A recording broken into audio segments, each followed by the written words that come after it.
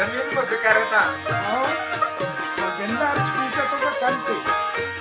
कोशिश